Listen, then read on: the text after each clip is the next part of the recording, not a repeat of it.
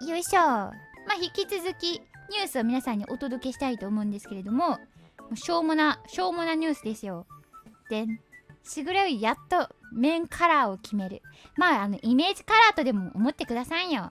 しぐれこの何グッズとか作るときにさ何色がいいんですかとかサイリウム何色ですかとかよく言われるんですけどよく分かってなかったんですよ。うん今回は黄色でとかうん。今回はちょピンクでみたいな適当なこと言ってたんですけどレインボーか。レインボーはちょっとしんどいって。万が一さほら切り抜きを作ってくださった時にさその面カラーを字幕にしてくださることが多いじゃないですか。レインボーうざいやろ。レインボーの字幕はうざいやろ。はい。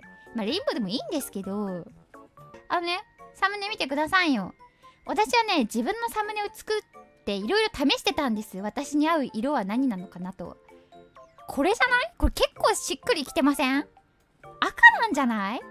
やっぱり黄色かなって思ったんですけどあの私と仲いい人黄色がちなんですよ。だからちょっと違う色にしたいと思っていたの。そうこれは真っ赤っていうよりかはちょっとオレンジ寄りの赤？なんでね今後あのしぐれに関わるグッズをね積極的に赤を使っていこうと思います よく炎上してるから似合うね。ちょ私炎上してないんですけど。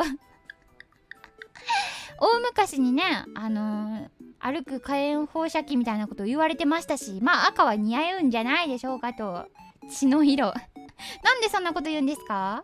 私人殺してないですし。殺せそんな物騒な人間ではないです。殺せいいと思ったらえっと高評価グッドボタンチャンネル登録お願いします。チュッコロ